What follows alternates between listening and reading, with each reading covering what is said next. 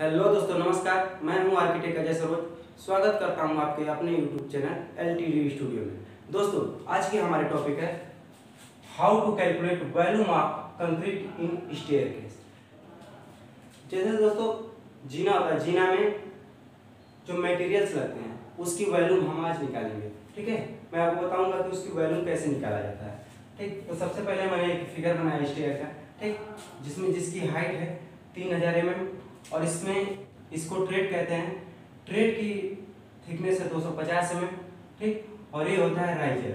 Riser की thickness है 150 सौ एम ठीक?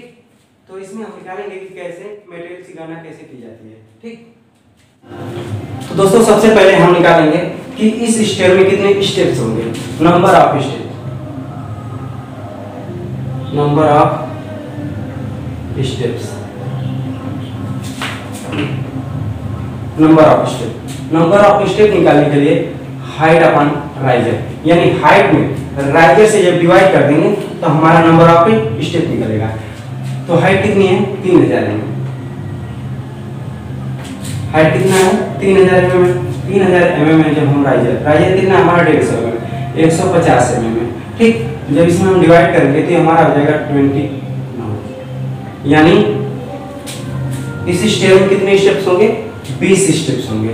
ठीक, उसके बाद हम निकालेंगे हॉरिजॉन्टल लेंथ यहाँ से यहाँ तक की, यहाँ से यहाँ तक की हॉरिजॉन्टल लेंथ निकालेंगे। यहाँ से यहाँ तक की लेंथ कितनी होगी?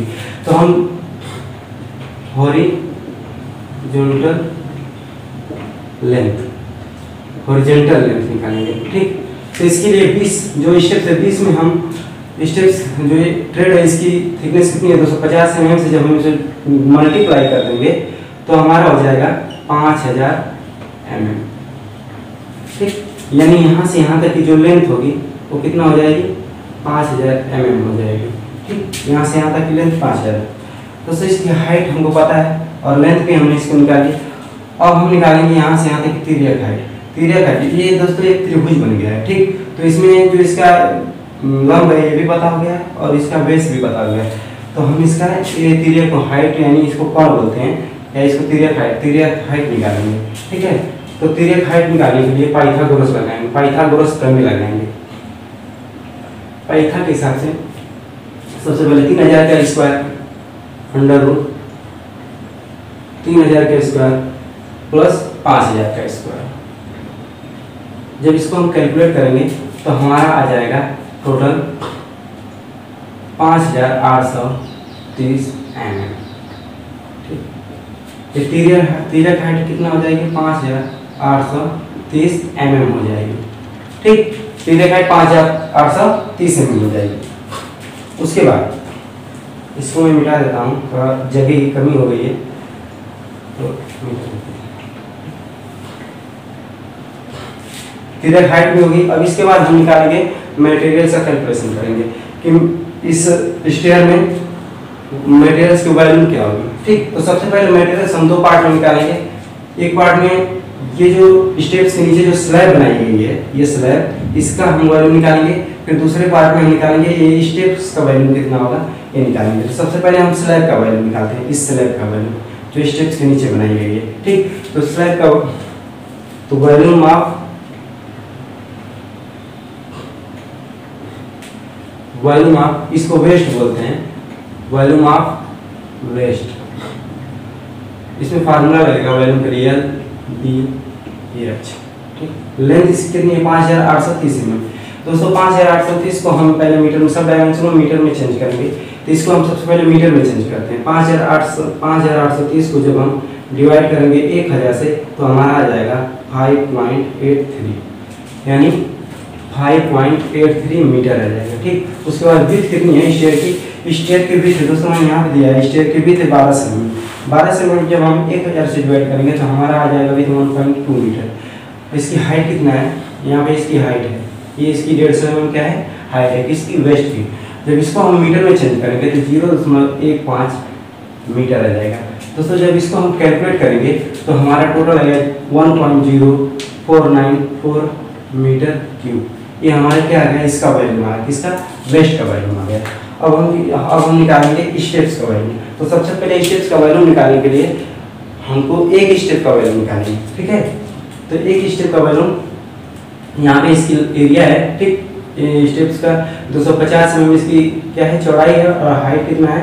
डेढ़ सौ एम तो इसका हम निकालेंगे पहले, इसका एरिया होता है हाफ़ एक रेक्टेंगल तो रेक्टेंगल का एरिया होता है हाफ़ बी इंटू एच ठीक? और जब इसमें हम स्टेयर का जो विथ होता है, उससे हम जब मल्टीप्लाई कर देंगे तो ये हमारा निकल जाएगा क्या? Volume of volume of one step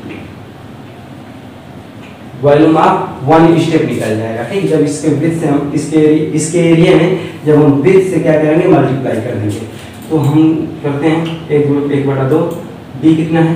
with with with कितना है इसका? 250 एम दो सौ पचास एम है तो 250 को हम आ, मीटर में चेंज करेंगे तो 0.25 मीटर हो जाएगा ठीक?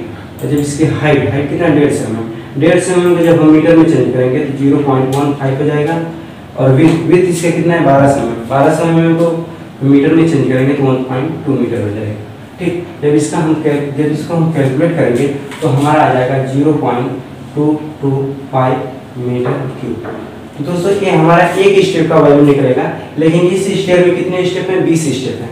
तो एक स्टेप का वैल्यू इतना है? तो बीस स्टेप का वैल्यू कितना होगा?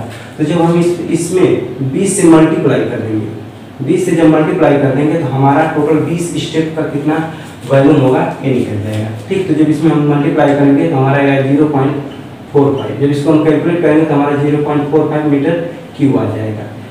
ये क्या आ गया? स्टेप्स में जो कंक्रीट का वॉल्यूम होगा, ये निकल गया, ठीक? और ये क्या होगा स्लैब में जो कंक्रीट का वॉल्यूम हो गया, ये निकल गया, ठीक? तो जो दोनों दोनों को जब हम ऐड कर देंगे, दोनों को तो हमारा टोटल जो स्टेयर में जितना कंक्रीट का वॉल्यूम होगा, वो निकल जाएगा, ठीक? तो हम निकालेंगे total total volume total volume of concrete concrete in stair तो हम स्क्वायर करते हैं one point zero four nine four plus zero point four five जब इन दोनों को हम ऐड करेंगे तो हमारा आ जाएगा वन पॉइंट वन पॉइंट हमारा आ जाएगा 1.5 मीटर दोस्तों, हमारा टोटल जो इस स्टेयर में कितना कंक्रीट का वॉल्यूम होगा? ये 1.50 मीटर क्यूब होगा। तो दोस्तों, इस प्रकार हम किसी भी स्टेयर का वॉल्यूम कंक्रीट का वॉल्यूम निकाल सकते हैं। ठीक है? तो दोस्तों, आई होप आप लोग को ये टॉपिक समझ में आया होगा। अगर समझ में आया, वीडियो को लाइक करें शेयर करें और सब्सक्राइब करें। और सबसे मेन इम्पोर्टेंट बेल आइकन को दबाना ना भूलें, ताकि हमारे अगले वीडियो का नोटिफिकेशन आप तक सबसे पहले पहुँचे। तो दोस्तों